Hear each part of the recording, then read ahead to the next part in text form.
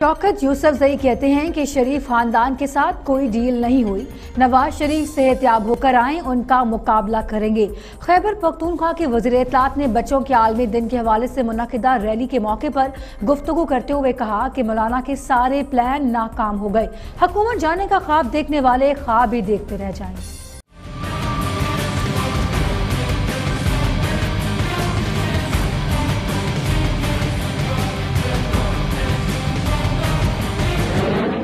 وہ بچے جو یہاں باپ کو لاوارث چھوڑ کر چلے گئے تھے، ان کو بھی احساس ہو جانا چاہیے کہ ان کا باپ بیمار تھا، ان کو آنا چاہیے تھا اور بدقسمتی دیکھے کہ ان کے کوئی گارنٹی دینے والا نہیں تھا۔ یعنی کیا ہے، سات ارب روپے کی گارنٹی تو ان کے لیے ایک چٹکی بھر کا مسئلہ تھا۔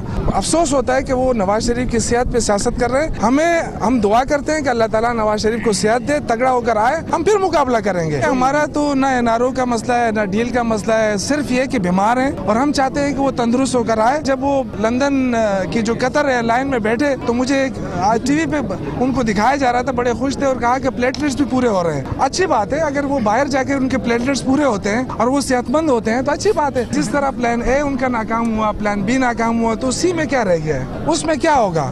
میں تو دعا کرتا ہوں مولانا صاحب کے لیے کہ ان کی آخرت ٹھیک رہے اور یہ خواب دیکھتے رہے۔ پانچ سال یہ خواب دیکھتے رہیں گے اور یہ خواب ان کو دن میں ہی نظر آتے ہیں۔